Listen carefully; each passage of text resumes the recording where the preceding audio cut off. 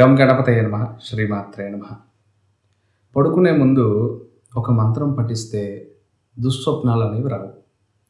మనం నిద్రపోగానే మనకి పూర్వజన్మలు అవన్నీ కూడా కళ్ళలో కొన్నిసార్లు మన ఆత్మ ట్రావెల్ చేస్తూ ఉంటుంది. పూర్వజన్మలు అనేకమైనటువంటి పొద్దున్న రాత్రి మనం మాట్లాడుకునే అంశాలు ఇలా రకరకాల అంశాల మీద మన మనసు వెళ్తూ ఉంటుంది. ఇవి కొన్ని సందర్భాల్లో పీడకలు వస్తుంటాయి. కొన్నిసార్లు ఆత్మలు ఏవైతే ఉంటాయో మన అంతరాత్మని ఇబ్బంది పెట్టడానికి కొన్ని చేస్తుంటాయి చూడండి కత్తితో కోసిన వెంటనే అక్కడ కత్తితో కోసిన వెంటనే ఆ పెయిన్ మనం ఫీల్ అవుతాం.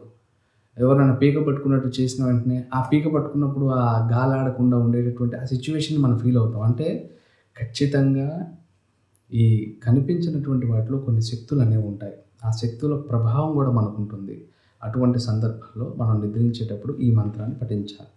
రామస్కందం హనుమంతం వైనతేయం వృకోధరం శయనేయ పటే నిత్యం దుస్వప్నం తస్య నశ్యతి.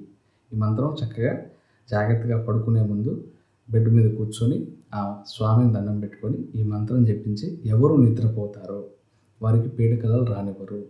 పొద్దునే లేచి ఒకవేళ పీడకలలు వచ్చాయనుకోండి ఇది చదువుకున్నాం మనకు పీడకలలు మ్యాక్సిమం రావు. ఒకవేళ వస్తే ఓం సహస్ర పరమాదేవ్యై నమ అనేటటువంటి నామాన్ని తలుచుకున్న మనకి సుఫలితాలు వస్తాయి. కాబట్టి ఇటువంటి విషయాలు తెలుసుకోవాలంటే ఖచ్చితంగా మన ఛానల్ని సబ్స్క్రైబ్ చేసుకొని గంట సింబల్ని యాక్టివేట్ చేసుకోండి.